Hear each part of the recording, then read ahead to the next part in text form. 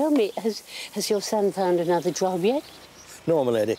They've let him stay on, and he always tries to make himself useful, but it can't go on forever. And anyway, he's lost his wage. But he's a properly trained valet. He could even be a butler. I hope so, my lady.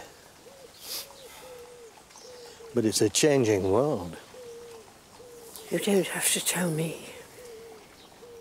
I've placed advertisements, Mr. Carson. You know I have. But the answers weren't suitable. I didn't get any answers. Well, at least I did, but when I wrote back, I heard nothing more. Well, I don't know what to suggest. Because I can't stay here. Mr. Molesley, I should hate us to appear inhospitable. But I can't stay here. Is it fair on his lordship? It has been six months. Well, suppose I could go to my dad's until I get something sorted. What a good idea. Servant's lunch is on the table. Thank you, Mrs. Patmore.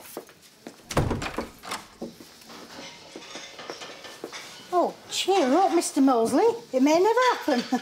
It already has.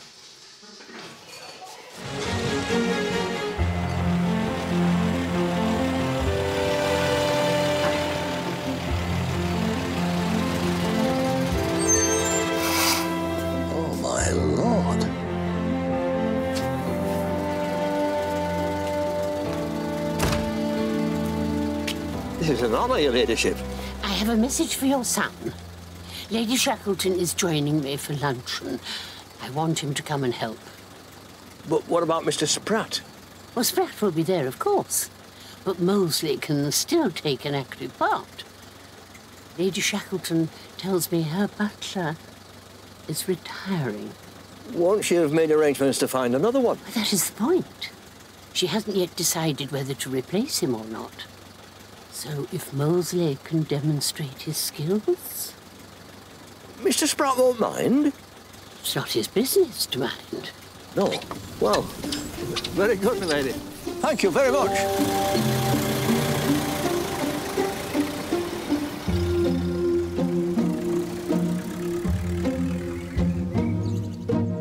Your ladyship, Mr. Bates. Bates? I'm very sorry to interrupt you when you're busy, my lady. It concerns Mr. Molesley, the younger. You make him sound like a Greek philosopher. He has fallen on hard times, and I know that you have helped him in the past. Are you asking me to give him some money? I am asking for money, yes. Although he's too proud to accept it as a gift. Oh, how refreshing. Although I think we can find a way. Go on. I know Gwen would appreciate it. I don't see why. I didn't know her that well. But you can sign it, surely.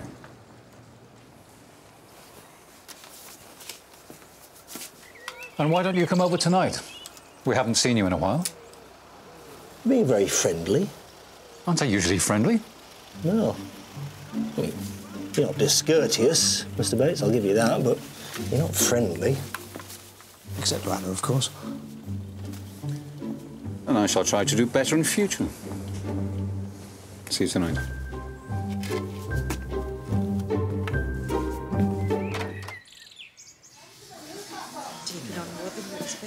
I agree, Mrs. Hughes. Mr. Molesley, is that you? Come in and have a cup of tea. Mr. Bates thought I might be welcome. And so you are. Sit down. Mr. Molesley, I'm glad you're here. I was going through my desk this afternoon and I came upon that note of mine, and uh, if you're willing, I'd like to pay it off now. What note?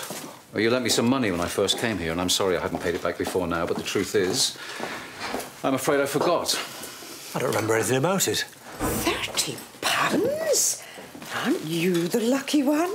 Surely there must be some mistake. You'll not deny that's your signature. Plain as day. How was your trip to York? Never mind that. What's going on? Mr. Bates has remembered he owed £30 to Mr. Molesley. What? But, but, but no. There you are, and thank you for coming to my aid when I needed it. Now, I must go. I have some things to do before his lordship comes up. Thank you, Mr. Molesley.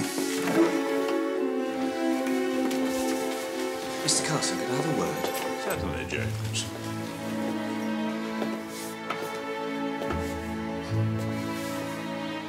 Why did you do that? You have put up with so much that I couldn't change. So if there is ever the slightest thing I can make better for you, then I will. But how did you manage it? Don't I keep telling you? Prison was an education.